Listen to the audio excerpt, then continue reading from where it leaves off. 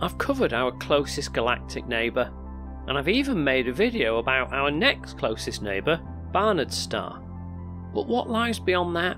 The next closest system to the Sun after that is very strange indeed, and contains not one, but two brown dwarfs. Welcome to Luhman 16. Let's find out more. If you live in the southern hemisphere and have a very powerful telescope, point it in the direction of the constellation Vela. Nearby you'll find Luhman 16. It lies just six and a half light years away, only slightly further than Barnard's star. Brown dwarfs are stars that are so dim that they're very difficult to spot from here on Earth. This is the reason that this system was only discovered in 2013. So let's take a closer look at the two stars in this system. Luhman 16A is an L-type brown dwarf. It has a radius slightly smaller than, but a mass 33.5 times more than the planet Jupiter. This means that it's much more dense than the planet and therefore why it's a brown dwarf. Unlike more massive stars, brown dwarfs don't have enough mass to fuse hydrogen to produce their heat and light. They do, however, have enough mass to fuse deuterium, which is an isotope of hydrogen. Even though they're very faint, much too faint to be seen with the naked eye from the Earth, Luhman 16 would actually give off heat and light. It has a surface temperature of about 1000 degrees Celsius, or 1350 Kelvin. It would glow faintly red to our eyes, but has a luminosity of only 0.002% of that of our Sun. Polarimetry studies of the star have suggested that, like the planet Jupiter, Luhman 16A has bands. It seems like there are just two or three large bands covering huge sections of the star. The upper atmosphere of 16A will obscure some of the light coming from below, so maybe this place looks like a cross between a star and a gas giant planet. Let's turn our attention to the other star in this pair, Luhman 16b. This is another brown dwarf, but of a slightly different type to its neighbour. 16b is a T-type brown dwarf, which to our eyes would glow faintly magenta or purple. This star is actually slightly larger in diameter than the planet Jupiter and has a mass 28.6 times as much. It also has a surface temperature of 1210 Kelvin or about 930 degrees Celsius. Studies seem to suggest that instead of bands as with its sister star, this one has large areas of atmospheric clouds that form a pattern over the upper reaches of the atmosphere, and due to the nature of the atmosphere, the light making it through the clouds would indeed look purple or pink to our eyes.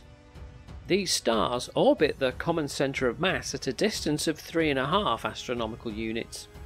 That's about the equivalent of the orbit of the asteroid belt in our own solar system and they orbit around each other every 27 and a half years.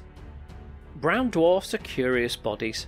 There are four classes of brown dwarf, with M types being the hottest, and then L, then T, and finally the coolest belong to class Y. As they age, they relatively quickly run out of fuel to keep their fusion fires burning. This means that as they get older, they move through the classes of brown dwarf gradually cooling and dimming.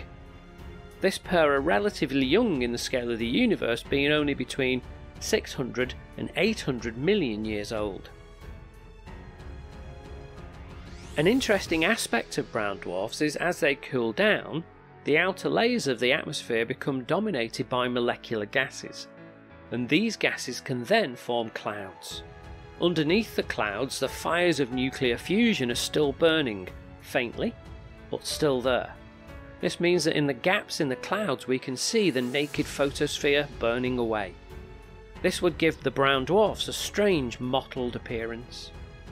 We've actually directly imaged these objects. This image from NASA shows a bright point in the centre, which is in fact the two brown dwarfs together. The resolution was not sufficient to discern each object individually.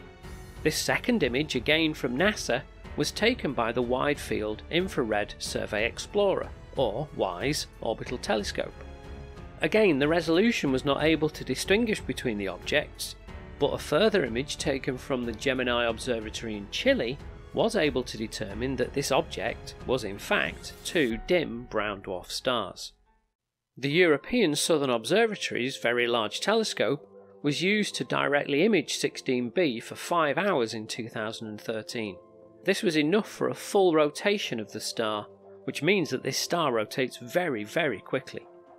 This showed dark regions around the middle of the star, with brighter regions towards the poles with a mottled appearance elsewhere. This suggests that the darker regions correspond to areas with thicker clouds, obscuring the light from the internal fusion going on beneath. Where there are gaps in the clouds, the light from below is able to shine through. There is one question I haven't touched yet, and that is the possibility of planets. But before I look at that, just to let you know, I make frequent trips into outer space, deep into inner space, and through time. If you fancy accompanying me on my adventures, then don't forget to subscribe and we can go together. So, to the matter of planets. In 2013, the way the brown dwarfs were moving suggested that there was a large planet, more massive than Jupiter, orbiting one of the stars. Subsequent observations initially ruled out a planet with a mass greater than two Jupiters, and then finally discarded the possibility of a planet with a mass of Neptune. This means that in terms of large gas giant planets, we can more than likely say that there aren't any. As for smaller, maybe rocky worlds, well, at the moment we just don't know. Maybe in future we'll find out though. Brown dwarfs form just like any other star, which means that they also may have accretion disks around them from which planets could form. Due to the smaller nature of the gas and dust clouds that form brown dwarfs, this means that the accretion disks are likely to be smaller also, leading to a higher probability of rocky planets rather than gas giants orbiting these stars. It is interesting to think that there may be smaller, even possibly rocky planets orbiting one or both of these strange stars. From the surface of any planets in the vicinity, the stars would look interesting and the dim light they cast would give the whole world an eerie glow. Sunlight wouldn't be as we know it here on Earth, it would look strange, and coloured, and shadowy. The interior of a brown dwarf is in a highly convective state, with energy moving through the star like the bubbles in a pan of boiling water.